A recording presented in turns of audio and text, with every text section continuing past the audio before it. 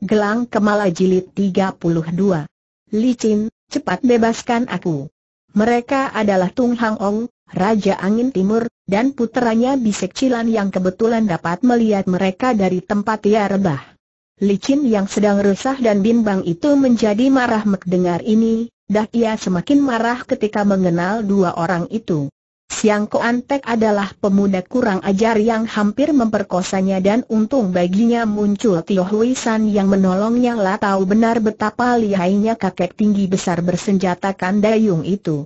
Akan tetapi kemarahannya membuat ia menjadi nekat dan biarpun ia tahu benar betapa kedahsyatnya kepandaian seorang di antara empat datuk besar JTY, namun ia tidak takutlah meloncat dan menyambut dua orang pria itu dengan bentakan nyaring, Mau apa kalian datang ke sini mengganggu aku? Hayo cepat merangkak pergi atau kubunuh kalian sikap gadis ini seperti menghadapi dua orang penjahat kecil saja. Siang Koan Mok sampai terbelalak marah melihat dirinya diperlakukan dengan sikap merendahkan seperti itu, akan tetapi Siang Koan Tek yang sudah mengenal kembali Li Chin tersenyum, Hem, engkau datang lagi kepadaku, manis?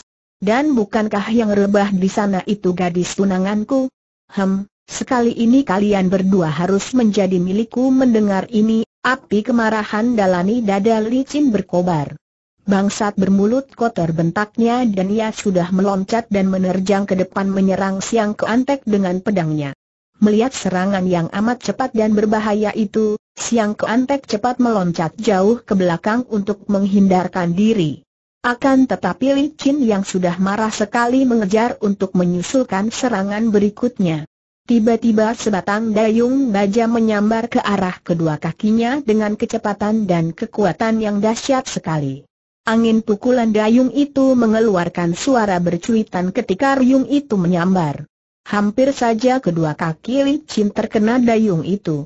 Licin terkejut dan menggunakan kelencahan tubuhnya untuk melompat jauh ke belakang sambil berjungkir balik beberapa kali. Ketika tubuhnya turun, ia tiba di dekat Chin Lan. Adik Chin, bebaskan aku, kita hadapi berdua kembali Chin Lan berbisik, akan tetapi Li Chin yang sudah marah sekal ke Pak Abi yang keanbok, tidak mempedulikan keselamatan dirinya lagi dan kembali ia meloncat dan menerjang Siang Keanbok dengan pedangnya kakek itu pun tidak berani memandang rendah. Dia tahu benar bahwa murid Ang Tok Moli ini cukup liai dan pedangnya amat berbahaya. Maka dia pun memutar tong satu katnya menghadapi pedang itu. Tiba-tiba Li Chin membuat gerakan meliuk dan tiba-tiba saja jari tangan kirinya sudah meluncur ke arah Natus yang keanbok. Iha Hadatuk itu berseru kaget dan mengelak cepat.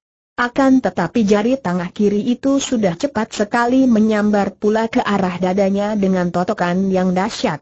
Kembali Siang Keanbok meloncat ke kiri untuk menghindar. Et Yang Chi serunya terkejut. Dia pernah dikalahkan oleh Engkong Tai Su dengan ilmu totok It Yang Chi itu, maka tentu saja dia menjadi agak jerih. Akan tetapi lewat beberapa jurus, tahulah dia bahwa ilmu it yang ciang dikuasai nona itu masih jauh dari sempurna. Dia tertawa bergelak dan memutar lagi dayungnya dengan dahsyat. Belasan jurus lewat dan ketika dayung itu menyodok perut, terpaksa licin memapaki dengan kakinya, dan tubuhnya terlempar jauh ke belakang. Kembali ia tiba dekat Chin Lan yang berbisik lagi. Licin, engkau bodoh, Cepat bebaskan aku kalau engkau tidak ingin mati di tangannya sekali ini Li Chin teringat bahwa ia memang tidak ingin mencelakai Chin Lan. Ucapan Chin Lan tadi sudah menyadarkannya bahwa ia tidak akan dapat memaksakan cinta kasih Tian Li kepadanya kalau memang pemuda itu tidak mencintanya dan mencinta gadis lain. Maka, tangan kirinya bergerak dan Chin Lan segera dapat bergerak kembali. Chin Lam cepat bangkit dan mematahkan sebatang dahan pohon untuk dijadikan senjata tongkat. Kemudian, dengan tongkat dahan pohon di tangan, gadis ini maju memutar tongkatnya menyerang Siang Kean, Bok, Li Chin juga meloncat dan mengeroyok dengan serangan pedangnya yang ganas. Melihat dua orang gadis itu maju menyerangnya dengan gerakan yang demikian tangkas, cepat dan kuat, diam-diam Siang Kean Bok terkejut juga. Dia pernah melawan Li Chin, akan tetapi ilmu kepandaian gadis itu dahulu tidak demikian hebat. Tahu-tahu sekarang telah mampu menguasai Tiang Chi. Dan gadis yang menjadi murid Pek satu lokat ia pun tidak boleh dipandang ringan. Ilmu tongkat Hok Motung sudah terkenal di dunia Kang Ou sebagai ilmu tongkat yang sukar ditandingi. Kini dua orang gadis itu maju bersama, maka dia pun bersikap hati-hati dan memutar dayungnya untuk menjaga diri. Sementara itu, melihat ayahnya dikeroyok dua, Siang Keantek segera berseru, Ayah, jangan bunuh mereka. Mereka adalah milikku dan pemuda ini pun telah memegang pedang dan terjun dalam perkelahian itu dia membantu ayahnya. Chin Lan dan Li Chin merasa kewalahan dan repot juga. Mengeroyok Siang Koan Bok seorang saja sudah merupakan lawan berat bagi mereka, apalagi kini ditambah Siang Koantek yang juga lihai. Tingkat kepandaian Siang Koantek itu hanya sedikit di bawah tingkat mereka. Kini, setelah dibantu putranya, dayung baja di tangan Siang Keanbok menyambar-nyambar dahsyat, membuat kedua orang gadis itu terpaksa mempertahankan diri sambil mundur, seolah terdorong oleh angin sambaran dayung yang berat itu. Ketika Licin sedang menangkis pedang Siang Keantek, tiba-tiba dayung itu menyambar tubuhnya dengan kekuatan yang hebat. Tak mungkin menangkis dayung yang berat itu dengan pedangnya, maka satu-satunya jalan untuk meloloskan diri dari maut hanyalah meloncat ke belakang. Des, dayung itu menghantam tanah dan tanah berhamburan dihantam dayung dengan kerasnya. Dayung itu kini menyarbar ke arah Cinlan yang terpaksa menangkis dengan tongkatnya. Tak tangkisan itu membuat Cinlan terdorong ke belakang, ke bawah sebatang pohon, namun dayung itu tetap menyambar ke arah tubuhnya. Dengan mengandalkan keringanan tubuhnya, Chin Lan dapat mengelak dengan loncatan jauh ketika dayung menyambar dahsyat. Wuut, krak pohon sebesar pinggang gadis itu patah dan tumbang dihantam dayung. Bayangkan saja kalau dayung itu tadi mengenai pinggang Chin Lan. Dua orang gadis itu sudah mengeroyok lagi dan menyerang dengan senjata mereka. Siang Koan Tek membantu ayahnya menangkis pedang licin sedangkan Siang Koan Bok menangkis tongkat Chin Lan. Kemudian terjadi perkelahian yang seru dan mati-matian. Setiap kali Li Chin mendesak Siang Keantek ayah pemuda itu selalu melindunginya sehingga berbalik Li Chin yang terdesak. Demikian pula kalau melihat Chin Lan terdesak hebat oleh dayung di tangan datuk itu, Li Chin mengendurkan serangannya terhadap Siang Keantek untuk membantu Chin Lan.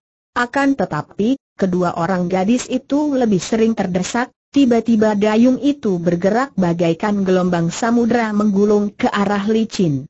Gadis ini terkejut, memutar pedangnya akan tetapi tetap saja ia terdorong ke belakang dan lalu ia menjatuhkan diri bergulingan dengan cepat untuk membebaskan diri dari serangan dayung yang berbahaya itu.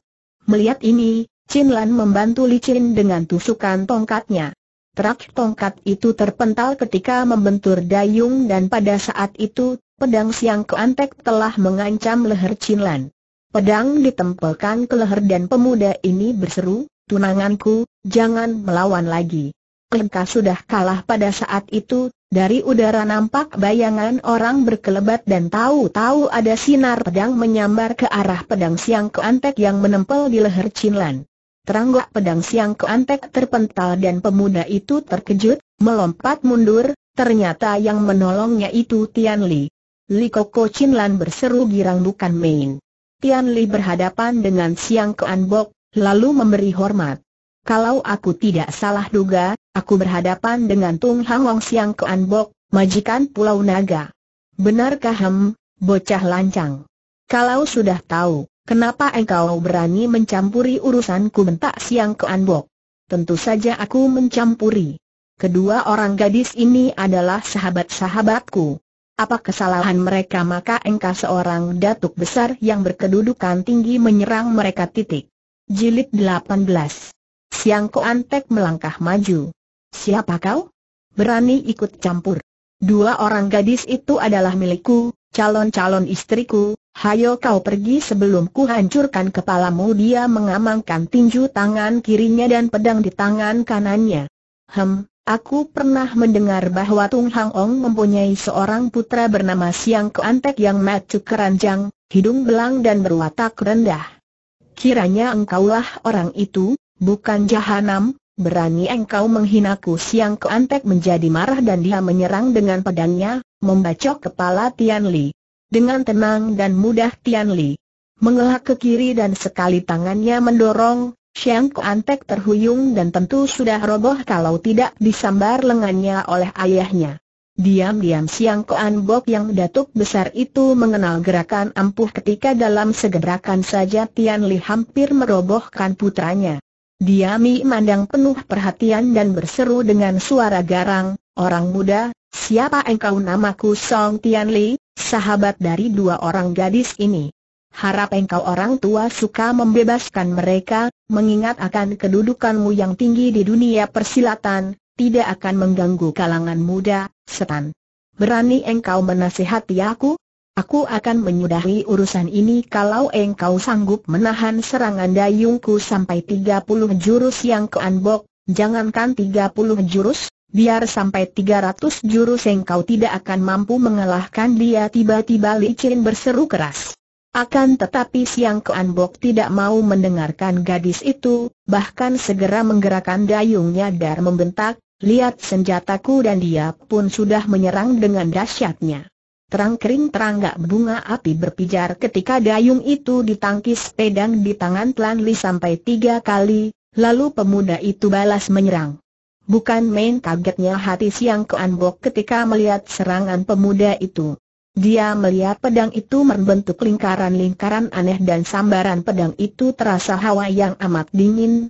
Ketika dia menangkis dan mengelak, Tiba-tiba hawa dari pedang itu berubah panas.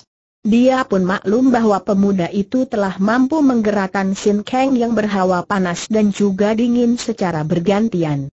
Orang yang sudah dapat mengendalikan Sin Kangnya seperti itu tentulah memiliki kepandaian tinggi maka dia pun tidak menandang rendah, melainkan menyerang dengan dayungnya sambil mengerahkan seluruh tenaga dan ilmu silatnya. Tian Li juga bersikap hati-hati karena dia maklum bahwa lawannya adalah seorang di antara empat datuk besar yang namanya sudah tersohor di dunia persilatan. Dia pun langsung memainkan pedangnya dengan Jit Goat Kiam Sut sehingga pedang itu membentuk gulungan sinar yang melingkar-lingkar. Dari lingkaran itu menyambar sinar pedang dengan kekuatan yang dahsyat. 30 jurus lewat dengan cepatnya dan jangankan mengalahkan Tian Li, mendesak pun Siang Koan Bok tidak mampu. Hei, Siang Koan Bok kakek tak tahu malu.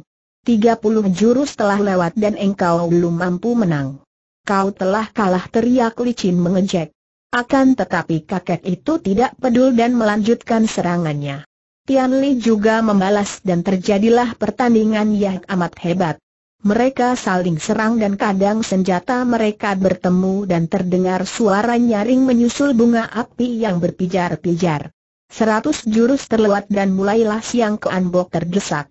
Dua orang gadis yang menonton pertandingan itu merasa kagum dan licin tiba-tiba berkata, biar ku hajar anjing kecil itu, katanya, bersiap-siap untuk menyerang siang kean.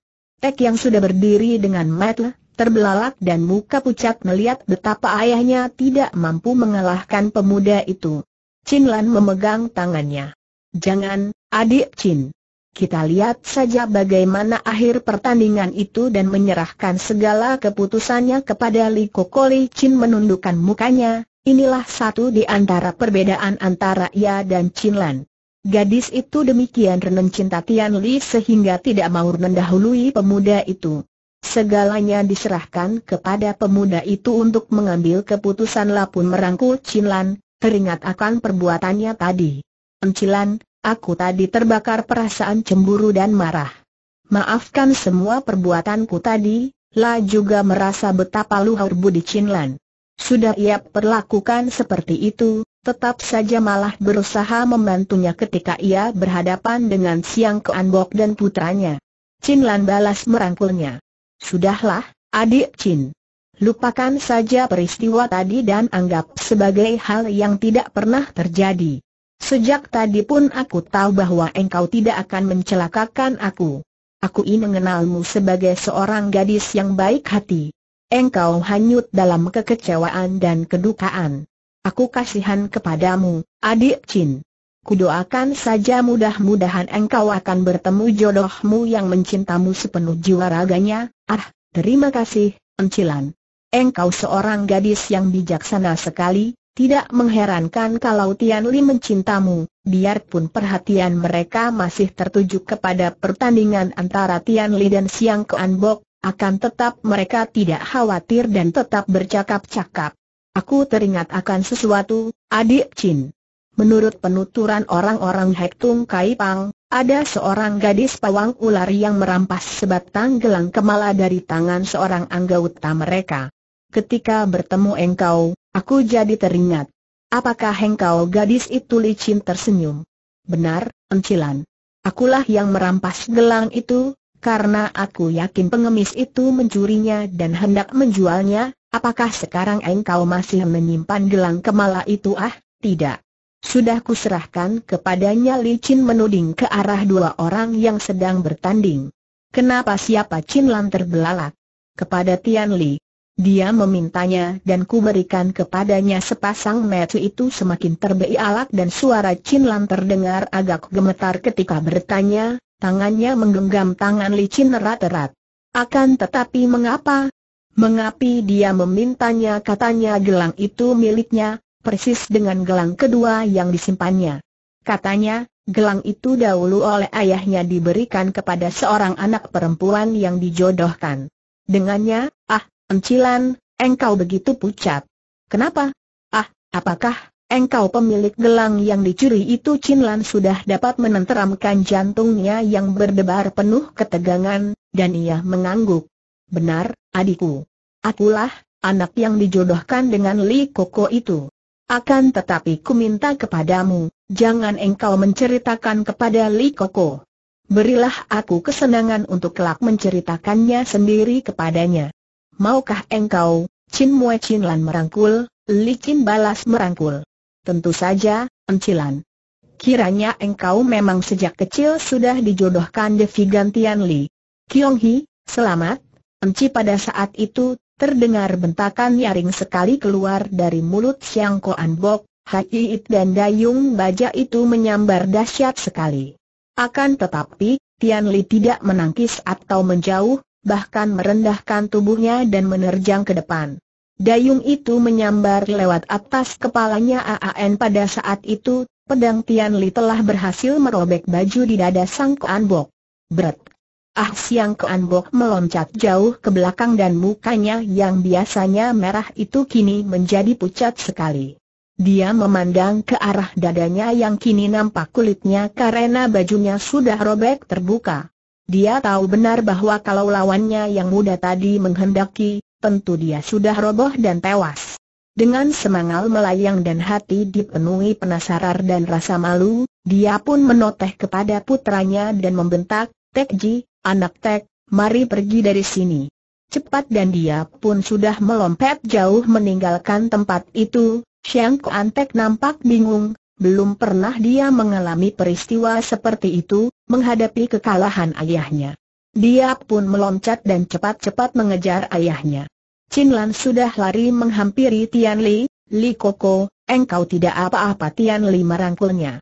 Tidak perlu engkau mengkhawatirkan diriku, Lan Moi, akan tetapi justru aku yang khawatir sekali akan keselamatanmu. Kenapa engkau dan Licin berada di sini Licin akan mengaku terus terang akan perbuatannya tadi, akan tetapi ia didahului oleh Cinlan. Kami merayakan kemenangan kita tadi dengan berburu, kita hendak pergi berburu akan tetapi bertemu dengan mereka di sini, Li Koko ahaha, hampir saja kalian celaka. Siang Koan Mok itu lihai sekali, apalagi ada putranya yang amat jahat. Hem, dengan adanya seorang pelindung dirinya seperti engkau, apa yang harus ditakuti Encilan? Tian Li, engkau harus menjaga diri Encilan baik-baik. Ingat, ia amat mencintamu kata Li Chin dan mendengar ucapan itu, Tian Li memandang kepada Li Chin dengan sinar mata berseri. Mengertilah dia bahwa Li Chin sudah mengetahui tentang hubungan cintanya dengan Chin Lan dan agaknya Li Chin dapat menerima kenyataan itu dengan rela. Tadinya dia mengkhawatirkan kalau Li Chin akan membenci dan memusuhi Chin Lan kalau mengetahui akan hal itu. Tentu saja aku akan menjaganya baik-baik, Li Chin. Terima kasih katanya dengan nada suara gembira. Dan sekarang aku berpamit, aku harus pulang ke Hang San, kata Li Chin. Adik Chin, kenapa tergesa-gesa? Ku harap engkau suka tinggal beberapa hari lamanya di rumah kami kata Chin Lan. Betul itu, Li Chin, jangan tergesa-gesa pergi. Namamu telah dilaporkan kepada Sri Baginda Kaisar, engkau termasuk seorang di antara mereka yang berjasa menumpas pemberontakan dan engkau berhak memperoleh pahala. Tian Li, engkau tahu bahwa aku tidak membutuhkan pahala. Kalau diberi anugerah berikan saja kepada Encilan. Nah, selamat tinggal. Berbahagialah engkau Encilan berbahagialah kalian. Kalimat terakhir ini keluar disertai isak tangis dan licin meloncat dan berlari cepat meninggalkan tempat itu. Chin Lan memegang lengan Tian Liah segera merangkulnya. Keduanya dah memandang sampai bayangan licin lenyap di antara pohon-pohon. Kasihan adik licin, kata Chin Lan lirih. Lah, ia mencintamu, Liko, aku tahu. Dia sudah mengatakan terus terang kepadanya bahwa aku sudah mencinta gadis lain dan tidak mungkin mencintanya. Agaknya, ia sudah tahu bahwa gadis yang kucinta itu adalah engkau, Lan Moi, memanglah sudah mengetahuinya tadi, jawab Chin Lan. Ah, tadinya aku khawatir sekali wataknya agak keras dan liar, aku khawatir ia bersikap keras dan membencimu. Akan tetapi ternyata tidak, tidak. Kokola seorang gadis yang baik hati, jawab Chin Lan sambil mengangkat muka menatap wajah pemuda kekasihnya itu. Hatinya bahagia sekali. Pemuda ini, kekasihnya ini, ternyata adalah tunangannya semenjak ia masih kecil. Pemuda ini adalah pilihan ayah kandungnya. Mudah-mudahan saja dia akan menemukan jodohnya yang baik, kata Tlan Li. Mari kita kembali ke rumah ayahmu, Lan Moi. Engkau tentu telah ditunggu-tunggu. Mereka lalu berjalan, bergandeng tangan kembali ke kota raja dan di sepanjang perjalanan, Tian Li menceritakan tentang kepergiannya menghadap kaisar di istana ayahmu telah dianugerahi pangkat penasihat kaisar, dan aku sendiri diangkat menjadi panglima yang mengepalai seluruh pasukan keamanan istana, demikian Tian Li menutup ceritanya. Wah, kalau begitu engkau sudah menjadi panglima besar, Koko. Kiong Hi, selamat. Engkau telah menunalkan tugasmu dengan baik.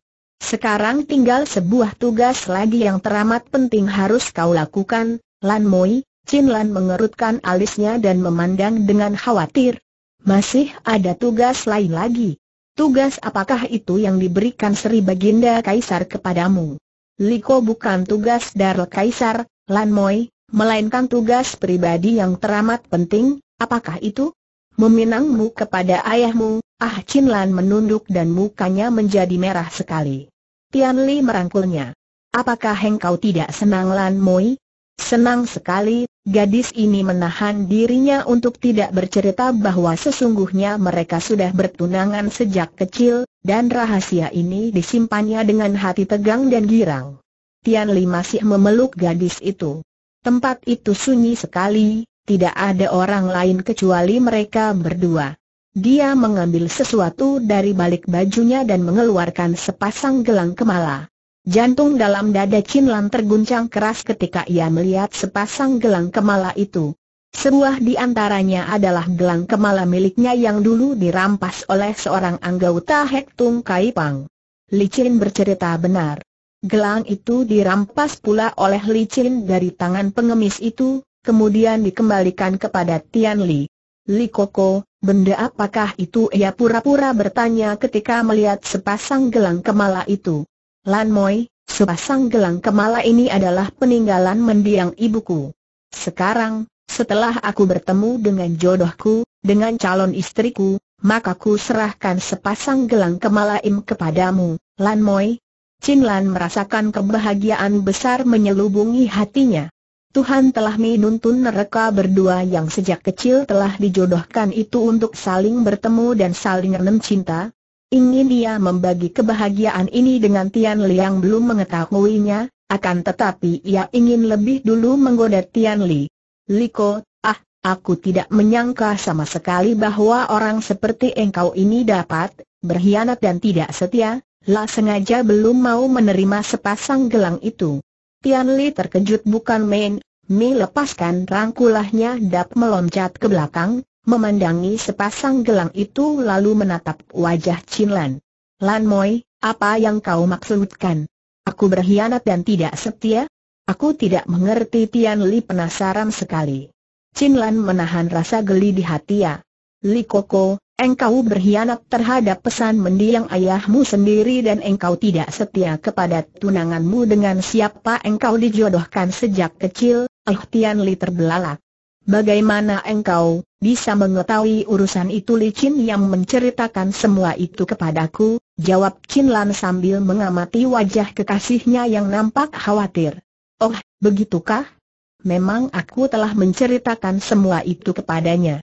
Licin menemukan sebuah dari gelang-gelang ini dan karena ia menyatakan cintanya kepadaku, Terpaksa aku menceritakan kepadanya bahwa aku tidak mungkin membalas cintanya dan melihat gelalang itu ada padanya, aku lalu memintanya dan menceritakan bahwa gelang itu adalah gelang yang diberikan ayahku kepada sahabatnya sebagai tanda perjodohan antara aku dan anak perempuan sahabat ayahku, hem, dan sekarang gelang tanda ikatan jodoh dengan putri sahabat ayahmu itu hendak kau berikan kepadaku.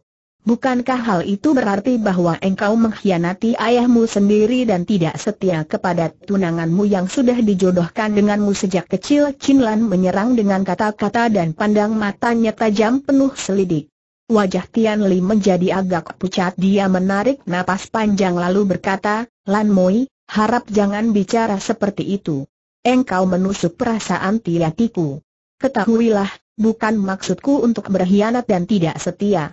Akan tetapi aku tidak berhasil menemukan gadis yang dipertunangkan dengan aku semenjak kecil itu seperti yang dipesankan ibuku, bahkan aku mendapatkan gelangnya ada pada licin yang merampasnya dari tangan seorang pengemis. Pula, terus terang saja, aku merasa tidak setuju dengan apa yang telah dilakukan orang tuaku, menjodohkan aku ketika masih kanak-kanak. Bagiku, perjodohan haruslah didasari cinta kasih antara kedua orang yang hendak berjodoh. Kemudian aku bertemu denganmu dan jatuh cinta. Salahkah aku kalau aku menyerahkan gelang kemala ini kepadamu sebagai ikatan perjodohan karena kita saling mencinta, sebelum mengajukan lamaran kepada ayah ibumu Lan belum mau menerima iklan itu dan bertanya, Liko, Bagaimana kalau pada suatu hari gadis yang dijodohkan denganmu sejak kecil itu muncul dan menuntut dilangsungkan perjodohan itu aku akan menolaknya. Apalagi ia tidak mempunyai bukti gelang kemala ikatan jodoh, benarkah engkau menolaknya tentu saja. Akan kunasihati ia bahwa perjodohan yang dipaksakan adalah tidak baik dan akan menghancurkan kebahagiaan kami masing-masing. Akan kukatakan kepadanya bahwa aku telah mempunyai pilihan hati sendiri, yaitu engkau. Nah, terimalah sepasang gelang ini, Lan Moi kini Chin Lan mau menerimanya, akan tetapi jangan tergesa-gesa mengajukan lamaran kepada ayah ibu, Liko. Biarkan aku yang lebih dulu memberitahukan kepada mereka agar kalau engkau mengajukan lamaran, mereka sudah mengetahuinya lebih dulu dan tidak menjadi terkejut. Setelah ku beritahu mereka dan mereka setuju, barulah mengajukan lamaran itu. Tian Li mengangguk-angguk begitu memang yang paling baik, Lan Moi. Dengan demikian aku menjadi tidak ragu untuk menghadap orang tuamu dan melamar.